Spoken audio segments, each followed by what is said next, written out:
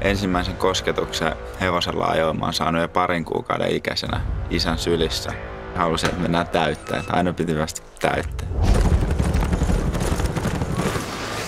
Lautailussa on se eri, että sä tiedät minkälaisen ranin sä yrität tehdä, mutta raveessa sä et voi tehdä mitään pitävää sotasuunnitelmaa ennen sitä lähtöä.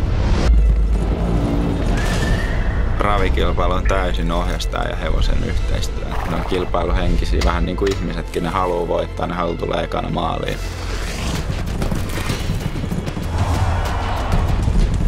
Semmoinen kilpailuhenkinen luonne ja tykkään voittaa. Että jos mä jotain teen, oli kyse straviurheilusta tai lautailusta, niin mä teen sen kyllä täysillä.